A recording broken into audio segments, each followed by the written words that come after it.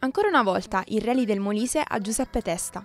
Il giovane di Cercemaggiore, ex campione italiano junior, in coppia con il sammarinese Massimo Bizzocchi, al volante di una Ford Fiesta R5, si è aggiudicato per il secondo anno consecutivo la corsa di casa.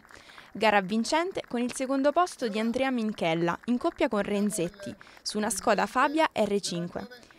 I due equipaggi si sono dati battaglia fin dalla prima prova spettacolo di sabato sera, intitolata Giuseppe Matteo, grande appassionato di motorsport, venuto a mancare lo scorso gennaio. Giuseppe era collaboratore parlamentare del ministro della giustizia Alfonso Bonafede, il quale è intervenuto telefonicamente in diretta durante la prova, ricordando la figura del suo collaboratore e dichiarando che i vincitori del trofeo Giuseppe Matteo, Giuseppe Testa, Massimo Bizzocchi e Andrea Minchella, Daniele Renzetti, autori di un esequo con un tempo di 2.55.4, verranno a breve premiati da lui stesso nella sede del Dicastero del che presiede a Roma.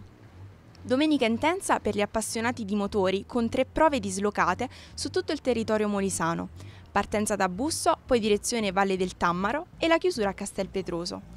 Minchella, al suo debutto sulle strade molisane, aveva preso il comando della corsa dalla prima prova, per poi cedere il passo a testa dalla successiva. La corsa del driver locale ha avuto una battuta d'arresto durante la prova di Castelpetroso, quando una foratura lo ha costretto ad inseguire il rivale, il quale a sua volta ha cercato di nuovo di staccarlo. Testa ha invece attaccato a fondo sino ad arrivare alla soglia dell'ultima fatica, cronometrata con 1,6 di distacco da Minchella, per poi staccarlo di 1,8, trionfando perciò di soli due decimi.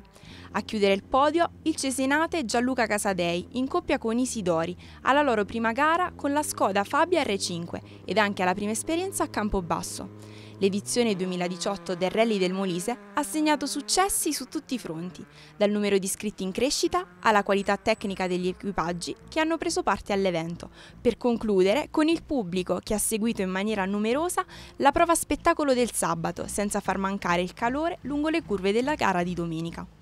In chiusura del nostro servizio, una precisazione del presidente dell'ACI Molise, Luigi Di Marzo.